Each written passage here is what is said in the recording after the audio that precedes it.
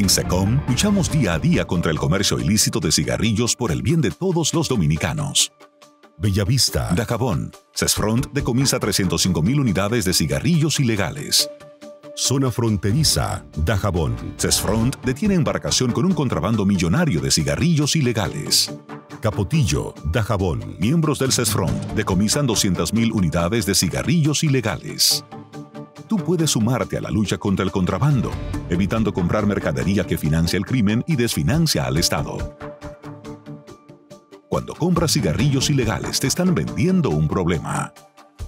Ministerio de Industria, Comercio y MIPIMES, y SECOM.